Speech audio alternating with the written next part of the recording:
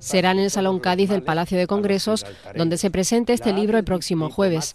El autor Arturo Vinuesa asegura que Gibraltar desde dentro, desde Cartella a nuestros días, es una especie de ensayo y recuerdos de vivencias personales sobre la historia de Gibraltar con sus avatares, las inquietudes de sus habitantes, sus deseos y anhelos de futuro, sus distintas opciones políticas y la problemática bilateral entre el Reino Unido y España.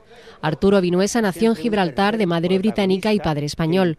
Ingresó en la Academia General de Zaragoza y permaneció como teniente largos años en África. Como comandante se diplomó en Estado Mayor por los ejércitos de España y del Reino Unido en operaciones psicológicas en este último y en inteligencia superior por los de España y Estados Unidos.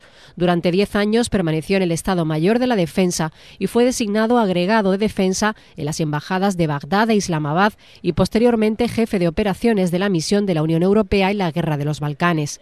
Es doctor en Ciencias Políticas, académico y vicerrector de la Academia de la Hispanidad, cofundador y antiguo secretario general del Instituto Español de Estudios Universitarios en Seguridad, Defensa y Política Exterior de la Universidad Europea. Miembro de la Cofradía Internacional de Investigadores de Toledo, colabora en diversas cadenas de televisión, radio y prensa sobre temas de estrategia y política exterior.